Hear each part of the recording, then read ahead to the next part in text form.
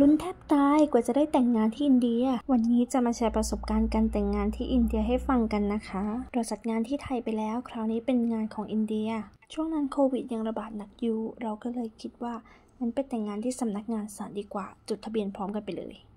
พอยื่นเอกสารไปแล้วศาลก็เรียกไปแต่งงาน พอไปแล้วปรากฏว่าศาลต้องงานเอกสารเพิ่ม ก็เลยแห้วค่ะ แต่งตัวถ่ายรูปฟรี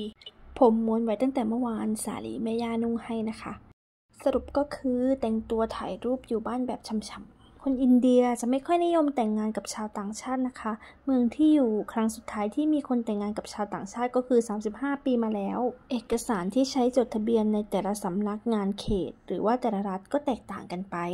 หลังจากรอประมาณหนึ่งเดือนศาลก็เรียกไปอีกค่ะ ครั้งนี้เป็นครั้งที่สองคราวนี้เรียกแบบกระทันหัน แต่งตัวแทบไม่ทัน ได้แค่นี้ค่ะพ่อสามีแว้นไปซื้อมาลา หรือว่าพวงมาลัยแต่งงานให้ที่ตลาด พวงมาลัยแต่งงานที่นี่จะใหญ่แล้วก็หนักกว่าที่ไทยมาก ในที่สุดก็ได้แต่งงานสักทีค่ะ นี่ก็คือรูปบรรยากาศในการแต่งงานที่ศาลนะคะ ก็เป็นไปอย่างเรียบง่ายนะคะ มีสักขีพยานเป็นผู้ว่าของเมืองแล้วก็พนักงานในศาล ได้ทะเบียนสมรสมากอดสมใจแล้วนะคะ เราก็อยากถ่ายรูป post wedding ไว้เป็นที่ระลึกตอนแรกก็กลัวไม่ค่อยมั่นใจ เพราะว่าคนอินเดียนะคะ เขามีโครงหน้าสวยคม แต่งหน้าขึ้นมาก หญิงไทยหน้าตาเป็นแบนๆนั่งแบบแบบอย่างเรา ช่างอินเดียจะแต่งให้สวยไหม แต่ก็ออกมาสวยนะคะ ถ่ายรูปขึ้นกล้องค่ะ อันนี้เป็นคลิปเมคอัพจากช่างแต่งหน้านะคะ ชุดเจ้าสาวอินเดียนะคะ เครื่องประดับจัดเต็มแล้วก็หรูหราอลังการ ชุดนี้หนักมากนะคะ เดินยากมาก เห็นทรงผมไหมคะ ใช้กุหลาบสด 16 ดอกแน่